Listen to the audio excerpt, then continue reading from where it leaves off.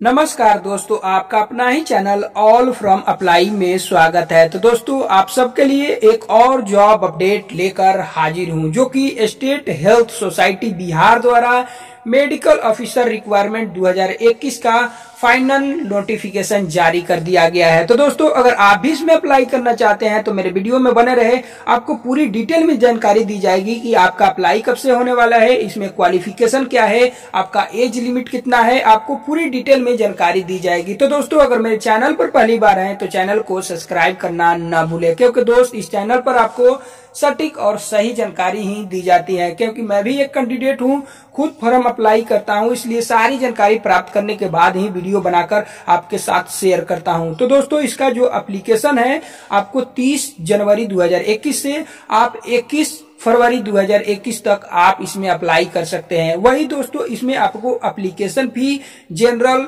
EWS और OBC के लिए इसमें पाँच सौ रूपया एप्लीकेशन फ़ी रखा गया है। वही एसी एसटी और फीमेल के लिए आपको दो सौ पचास रूपया एप्लीकेशन फ़ी रखा गया है। तो आप जो भी कैटेगरी से आते हैं, इसमें फॉर्म अप्लाई कर सकते हैं। वही दोस्तों, इसमें एज की बात की जाए तो आपको एक एक दो हज़ार इक्कीस को मैक्सिमम पचपन बरस आपको एज होना चाहिए। वही दोस्तों, आपका टोटल पोस्टों की संख्या इसमें आपको 208 है।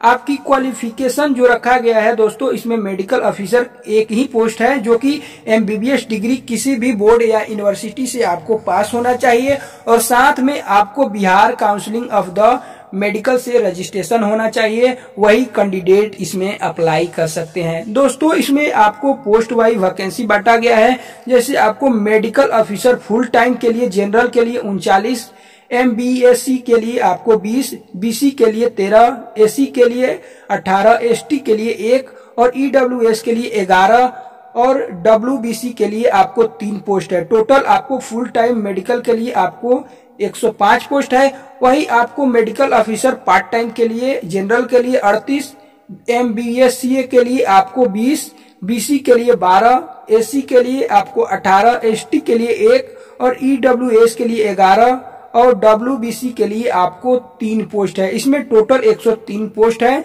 तो दोस्तों टोटल पोस्टों की संख्या आपको इसमें 208 है।